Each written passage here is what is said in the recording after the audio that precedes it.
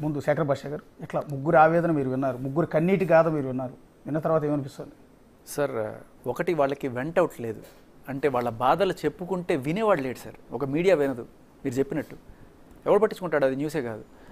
అలాగే మీరు అన్నట్టు మహిళా కమిషన్ లాగా ఏదైనా పురుషులకు కూడా ఒక కమిషన్ ఉండి వాళ్ళు వెళ్ళి అక్కడ చెప్పుకుంటే కనీసం వినేవాడు ఉంటే కనీసం ఆత్మహత్యలైన ఆగుతాయి వాడికి న్యాయ సంగతి దేవుడు ఎరుగు వినేవాడు ఉంటే వాడు బాధ బయటికి రావాలి ఫస్ట్.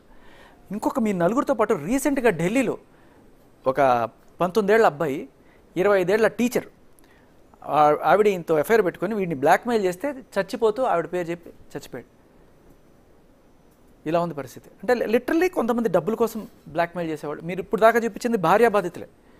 బట్ ప్రియురాలు ప్రేయసి బాధితులు చట్టం బాధితులు. బేసికల్ వీళ్ళు చేసేది ఏంటంటే చట్టం పేరు చెప్పి బెదిరిస్తారు. కేసులు పెడతాం. Four ninety three sixty eight sixty nine ఈ కేసులు పెట్టి డబ్బులు కొందడం ఇలాంటివన్నీ కూడా. దానికి సెటిల్మెంట్కి పోలీసులే కొంతమంది వచ్చి పంచాయతీలు చేయడం.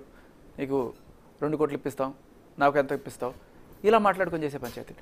సో లిటరీ ఇది ఒక దందాలాగా తయారైపోయింది. నిజానికి ఆ చట్టాల వల్ల ఎంతమంది మహిళలు రక్షించబడుతున్నారు అనేది మేబీ వన్ పర్సెంట్ కూడా ఉండకపోవచ్చు. కానీ ఇది చక్కగా దందా చేసుకోవడానికి ఉపయోగపడుతుంది. సో ఇది పక్కన పెడితే మగాడు నాకు అన్యాయం జరిగిందని చెప్పి వెళ్ళి కేసు పెడితే తీసుకునే పరిస్థితి లేదు ఇవాళ. ఒక ఆడదాని వల్ల నాకు అన్యాయం జరుగుతోంది అని చెప్పి వెళ్తే అవ్వదు కేసు. ఎంతైనా ట్రై చేయండి. లీగల్ ఒపీనియన్ అంటారు ఎంతైనా అంటారు.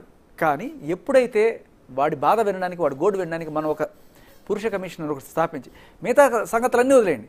జస్ట్ లేడీస్ పెళ్ళం కావచ్చు ప్రియురాలు కావచ్చు లేకపోతే ఇంకెవరైనా కావచ్చు మిమ్మల్ని ఎక్స్ట్రాషన్ కానీ బ్లాక్మెయిల్ కానీ బాధకు కానీ గురి చేస్తుంటే గృహహింసకు కానీ.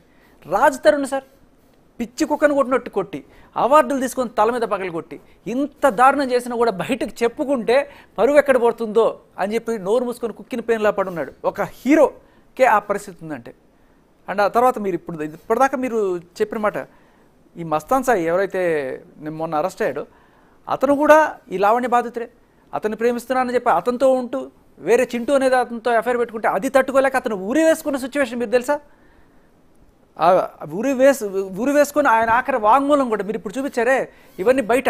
అతను లిటరలీ మెడకి ఉరితాడు వేసుకొని చచ్చిపోతున్నప్పుడు చెప్పాడు ఇట్లా నాకు ఇక బతకాలం లేదు ఈ టార్చర్ నేను తట్టుకోలేకపోతున్నాను అని చెప్పి ఆ అమ్మాయి పేరు చెప్పి.